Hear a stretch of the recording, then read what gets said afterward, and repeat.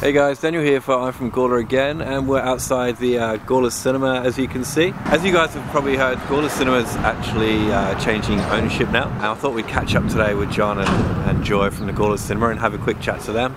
This end of town has always held us lots of memories for me because not only did I used to work here at the Gawler Cinema, but I also used to live here at this house, so a lot of fun times, a lot of memories with friends, and having a, my, one of my first big boy jobs, so looking forward to catching up with John. Well, I used to have the first video shop up the main street in Gawler, and it was raining one day, and I could hear this drip, drip, drip, and I lifted a tile up in the ceiling, and I had no idea I was in the original Gawler cinema. The, the, oh, that's the ozone the, the on the ozone, corner, yeah. And uh, and I looked up in the to the roof, and there was this beautiful ornate ceiling, and you could see where the balconies had gone down the side from upstairs. And, and I thought, what a wonderful idea to have a cinema and a video shop, you know. And um, when, years later, I got approached by an English lord who said, if I built you a purpose-built video shop down the southern end of town, would you come down there and lift the, the uh, this area up for me? And I said, well, how about building me a cinema as well, as we haven't had a cinema in Gawler for 27 years. And he went, what a good idea. So that's how we got the Gawler Cinema. I think 89 we started uh, building the, the cinema. Yeah. Um, and then we had Cinema 1 first. Uh, then a year later we started on Cinema 2. And so what used to be here instead of the cinema? Well, as I remember it, uh, it was an old house, uh, which is still there in the middle. This, this was uh, the, the, driveway, that's, that's still the square for the garage, sitting there. That's, that's the driveway leading up to the garage. This is the original old house that's still there, even though you can't see it.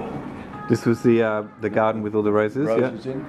Original front door up the top of the steps here, and that's the original hallway where where the toilets are now. Is was their lounge, dining room, and bedrooms.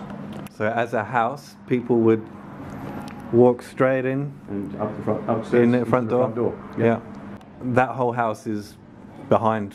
a lot of it is behind. It's, it's all there. It's behind all there. this. yeah. yeah had to cut into it um, and just re, re, remodel the, the, whole foyer.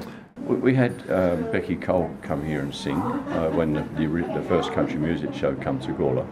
And, uh, and she was absolutely amazing, and that was before she got famous. Mm. Um, Bob Francis has been here and uh, had a talk to our seniors. Now we had the original Red Dog came here with his owner oh, yeah. and sat and watched his own film yeah, on a seat.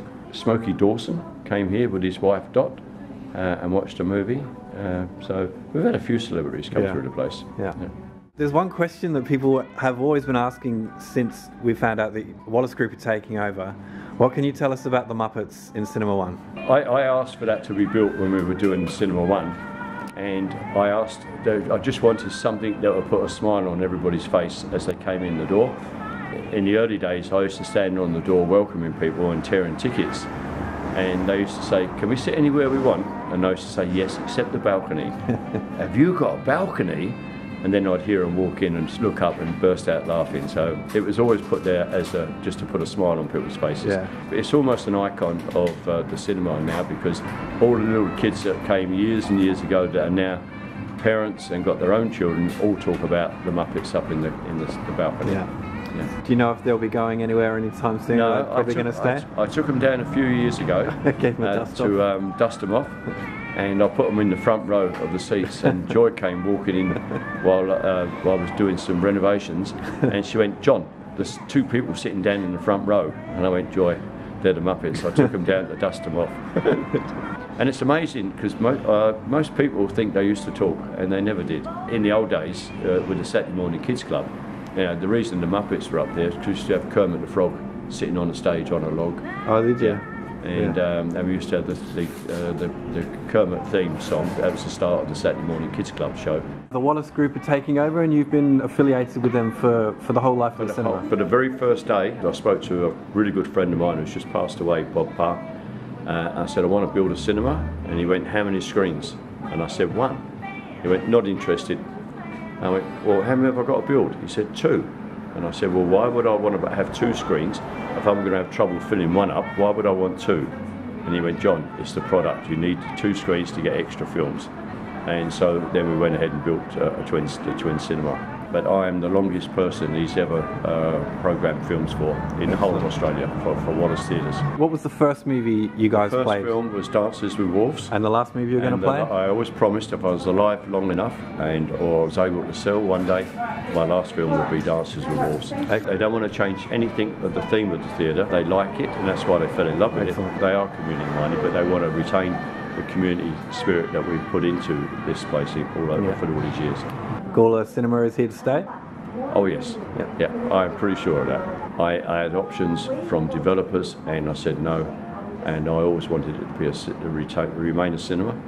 Um, but I think the beauty of with Wallis is um, that you may see an extra two or three screens in the Mm. near future. So that's it's a win-win-win for Gawler all, all Fantastic. round. Yeah, so we're happy and they're happy.